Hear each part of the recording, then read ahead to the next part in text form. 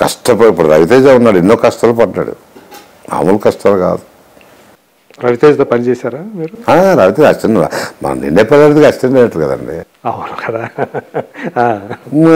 వంశీ తీసిన సినిమాకి నేనే కదా అవన్నీ చేసింది. ఖడ్గం కానీ క- ఖడ్గం ఖడ్గం చేయలేదండి ఖడ్గానికి గెటప్పులకి యాడ్ చేశాను. సింధూరం. సింధూరం అవును. దానికంటే ముందు సినిమా. సింధూరం. గులాబీ. జేడి జేడి ఏమైనా కష్టపడకుండా వచ్చాడు? బ్రహ్మాజీ కష్టపడకుండా వచ్చారు? ఇప్పుడు సుఖపడుతున్నారు. ఇండస్ట్రీలో కష్టపడినాడు ఎప్పుడు సుఖపడతాడండి. ఫస్టే వచ్చి స్టార్టింగ్ ఇదంటే కష్టం కానీ డెఫినెట్గా కష్టం ఉంటుందండి ఇండస్ట్రీ సుఖాలు కష్టాలు దుఃఖాలు. చేదు అనుభవాలు అన్నారు కదా ఏ- ఏ తరహాలో ఉంటాయి ఆ చేదు అనుభవాలు అంటే? ఏముంటుంది ఇప్పుడు మేకప్ మ్యాన్గా ఇప్పుడు ప్రొడ్యూసర్ రమ్మంటాడు సినిమా నీదే అంటాడు. ఓకే. అక్కడికి వెళ్ళిన తర్వాత వేరే ఇచ్చేసాను చంద్ర నీకు లేదంటారు. అది నా విషయంలో చేదనుభవం. చేదనుభవం అంటే ఏదో ఇది కాదు చెప్పేది అట్లా కొన్ని మిస్ అవుతా ఉంటే అప్పుడు మనకు బాధ అనిపిస్తుంది. అది ఇది. సో మొత్తం ఏం సంపాదించుకున్నారు మీరు? మంచి పేరు సంపాదించుకున్నాం. చంద్ర మంచివాడు సంపాదించుకున్నాం. ఆర్థికంగా వెల్ ఆఫ్ ఈ సినిమా రిలీజ్ అయితే వెల్ ఆఫ్ అదే తెలియదు ఇప్పుడు వరకు వెల్ ఆఫ్ ఇక సినిమా సంపాదించుకుంది అంతా అంతా పెట్టా సినిమాలో ఈ సినిమాకి పెట్టేశారా? రేపు నా సినిమా జనాల్లోకి వెళ్ళి బాగుంది అనుకుంటే ఆఫ్ బాగా పెట్టడం అంటే ఆల్రెడీ మీరు ఏదైతే బ్యాంక్ బ్యాలెన్స్ లేకపోతే అట్లాంటిది ఏదైనా ఉందో అంతవరకు పెట్టారు లేకపోతే ఆస్తులు కూడా అమ్మ బ్యాంక్ బ్యాలెన్స్ ఎంత పెడతాడు? ఐదు ఐదు లక్షలకి ఆరు లక్షలకి ఎక్కడ వస్తాడు సినిమా? బ్యాంక్ బ్యాలెన్స్ మన దగ్గర ఎంత ఉంటుందండి? కోట్లు అయితే ఉండవు. తనఖాలు పెట్టారా? ఆస్తులు తనఖాలు పెట్టారా? ఏ ఉండాల్సినవి పెట్టాల్సినవి పెట్టేస్తాం. అంటే సినిమా అనేది అంత డేంజరస్ హండ్రెడ్ పర్సెంట్. గేమ్ అది. అవును. లాటరీ అవును.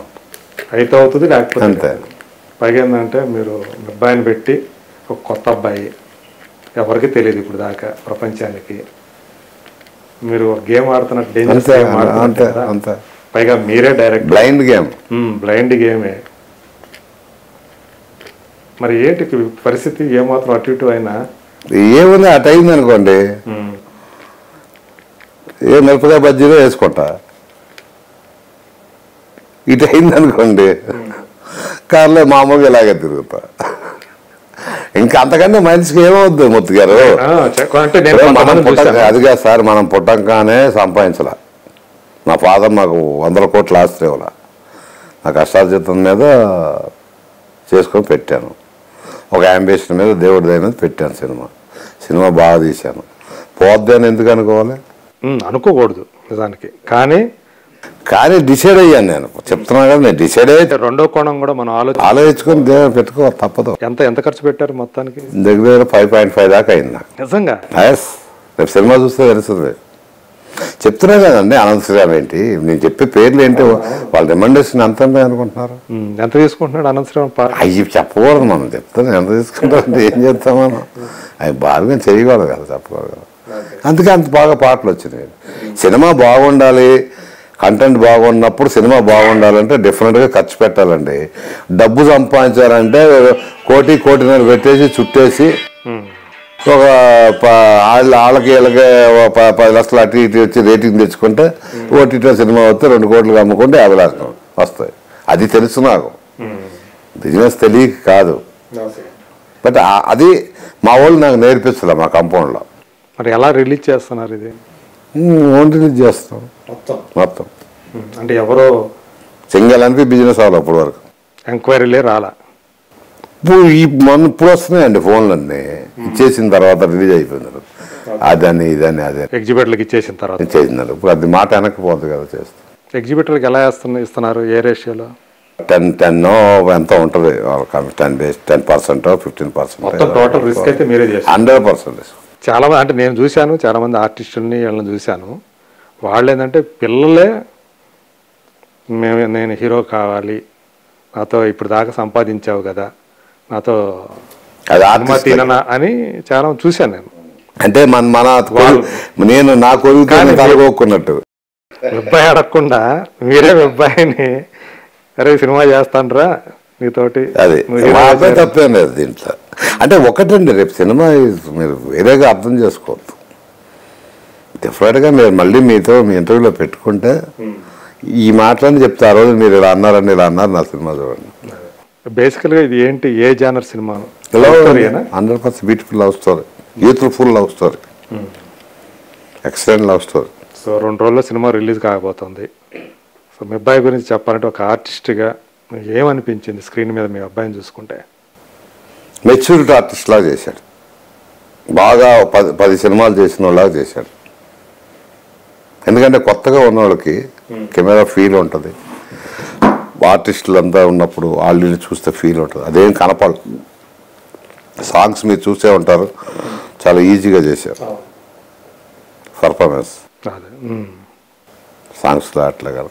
కష్టపడినట్టు చేశాడు. మా అబ్బాయి తప్పేనా బ్రహ్మాండంగా ఉంటుంది చేశాడు. ఇప్పుడు అది చెప్తే ఏదో అనుకుంటారు కానీ స్క్రీన్ మీద చూస్తే ఫస్ట్ హాఫ్ చాలా జాలీగా వెళ్తుందండి. ఫస్ట్ హాఫ్లో ట్విస్ట్లు ఉంటాయి. ఇదేంటి ఇదేంటి ఇదేంటి అని వస్తుంది. ఆ ఫస్ట్ హాఫ్లో ట్విస్ట్ అన్నిటికీ క్లారిటీ ఇచ్చుకుంటారు. అబ్బాయికి సినిమా రిలీజ్ అయిన తర్వాత ఫీచర్ ఉంటుంది. వేరే వాళ్ళు కూడా తనకి ఆఫర్లు ఇస్తారన్న ధైర్యం ఏమైనా వచ్చింది? ఉంది ధైర్యం. అందుకనే మొత్తం డబ్బులు పెట్టింది. ఎంఎస్కి వెళ్ళాల్సిన పని రాదు. కంటిన్యూ యాక్టర్గా ఏంటి ఆ అబ్బాయి మాస్ క్యారెక్టర్స్ బాగా వస్తాయి. అంటే ప్రీవీ చూసిన వాళ్ళు కానీ మా ఎడిటర్ ఉద్దవ్ గారు చెప్పింది కానీ తర్వాత డిఏలో వీళ్ళందరూ చెప్పింది ఏంటంటే డెఫినెట్గా మాస్ లుక్ ఉందండి. మాస్ క్యారెక్టర్స్ మాస్ బాగా పట్టుకుంటాయి. ఆడియన్స్ ఆ ఆదరిస్తారు ఇది పక్కగా నేను చెప్పింది కదండి. మా వెయిటర్ కానీ చేసిన వాళ్ళందరూ చెప్తున్నారు డిఏ చేసింది మా కెమెరామ్యాన్. వాళ్ళ యాంగిల్స్ పెట్టినప్పుడు తెలిసిపోతుంది కదా. బట్ మాస్ సో మీకు మరి డైరెక్టర్గా సో ప్రొడ్యూసర్గా అంటే పంచాక్షరితో ప్రూవ్ చేసుకో డైరెక్టర్గా అంటే ఇప్పుడు ఈ- ఈ సినిమా అద్భుతంగా ఆడింది అనుకోండి. లేదు యావరేజ్గా ఆడింది అనుకోండి. ఎవరో ఒకళ్ళు వచ్చి డైరెక్షన్ చేసి పెట్టంటే చేస్తా. మ్యాక్సిమం రారు. నేనే నాకు మళ్ళీ డబ్బులు పెట్టి చేసుకోవాలి. సినిమా బాగా ఆడిందంటే ఎవరైనా వచ్చి చేస్తే చేస్తాను. ఓకే. నా అబ్బాయికి ఛాన్స్ మీకైతే ఒకవేళ బయట వాళ్ళు వచ్చినా కూడా డైరెక్షన్ కంటిన్యూ కంటిన్యూ చేయాలంటే నా కథ అయితేనే చేయగలుగుతాను మూర్తి గారు. వేరే వాళ్ళ కథలు చేయలేను. ఇంకా ఉండయి? మీ మైండ్ ఉన్నాయి కథలు ఉన్నాయి కానీ నా సొంతం అయితేనే చేయగలను. ఏదో కథ తెచ్చేసి ఆ కథ చేయమంటే చేయలేను. అది కష్టం. అంతటా టాలెంట్ లేదు. బయట కథలు చేసి చేసే టాలెంట్ ఇప్పుడు ఈ వయసులో మీరు సొంత కథలతోటి ఒక డైరెక్టర్ అవటం అనేది. ఈ వయసుకి ఈ- ఇది కథలు పుడతానికి సంబంధం ఏమన్నా నిజానికి ఏ సంబంధం? ఏమైనా ఉంటుంది అసలు? మన మైండ్ ఎలా ఆలోచిస్తుందో? అదే వయసు తప్ప మన మన బాడీకి వయసుకి సంబంధం ఏముంటది? మా అయ్యగారు. మనకు తెలిసి తెలియాల్సింది ఏంటంటే ఈ కాలపు వాళ్ళు ఏ తరహా సినిమాలు చూస్తున్నారు? వాళ్ళ టేస్ట్ ఏంటి? అది తెలుసుకుంటే చాలు. అంటే ఇంకోట్లండి ఈ కాలం పిల్లలు ఆలోచించింది అలాంటి సినిమాలు తీయాలంటే కూడా అంత డీప్గా అంత అసహ్యంగా చేయాలన్నా మనలాంటి వాడుతారు నాలాంటి ఈ- అందరిలో ఈ కాలం వాళ్ళలో అన్ని రకాల వయసు వాళ్ళు కూడా ఉంటారు. అంటారు బట్ ఎక్కువ ఎవరు చూస్తుంటారు? యూత్ చూస్తారు. సో చూసుకొని మన యొక్క ఆ ఫ్రేమింగ్ కూడా టెక్నికల్గా కూడా మనం అప్డేట్ అయి ఉండాలి. అప్డేట్ హండ్రెడ్ పర్సెంట్ అవ్వాలండి టెక్నికల్గా. ఎందుకంటే ఈ మన సినిమాలు కాదండి బయట ఇప్పుడు అన్ని వీటిలో ఎలాంటి సినిమాలు వస్తున్నాయండి? మామూలు సినిమాలు రాదు మామూలు టెక్నిక్లు అలాంటివి చూసుకొని యూట్యూబ్లో నేను ఫస్ట్ చెప్పి అంత బాగా యూట్యూబ్లో సినిమాలు చూసుకొని మన దగ్గరకు వచ్చి సినిమా చూడాలంటే మనం ఎలాంటి కంటెంట్ ఇవ్వాలి? అదే. ఆ చేతిలో ఐఫోన్లో ఫోన్లో అన్నీ వస్తున్నాయండి. ఆ లెవెల్కి ఉండాలి కదా ఆ ఉండాలి కదా ఆ లెవెల్ కొనుక్కోపోతే మన మన దగ్గర రాలే రాలేదు రాలేదంటే నువ్వు కంటెంట్ తీయకుండా ఉంటే ఎందుకు వస్తాడు? కంటెంట్ కొట్టింది అనుకోండి చిన్న సినిమాలు మధ్యలో ఆడలేదా. పెద్ద సినిమాలు ఆడినాయా? ఈ సినిమా నాలుగైదు సినిమాలు చిన్న సినిమాలు ఆడలేదా? బ్రహ్మాండం రెవెన్యూ వచ్చింది. ఎందుకు రావండి?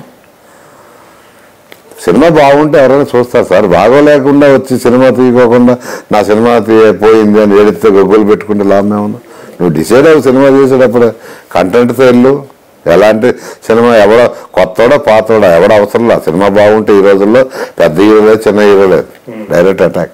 ఆడియన్స్. ఇప్పుడు ఆపరేషన్ లేకుండానే మోకాళ్ళకు ప్లాస్మా ట్రీట్మెంట్. మీ ఆర్థోపెటిక్ సమస్యలన్నిటికీ రోబోటిక్ టెక్నాలజీ ద్వారా తక్కువ ఖర్చుతో శాశ్వత పరిష్కారం. Free consultation. ప్రతి ట్రీట్మెంట్ పై ట్వంటీ పర్సెంట్ డిస్కౌంట్. ఈ ఆఫర్ కొద్ది రోజులు మాత్రమే త్వరపడండి. V nine hospitals. Nine two eight one four six five eight four two.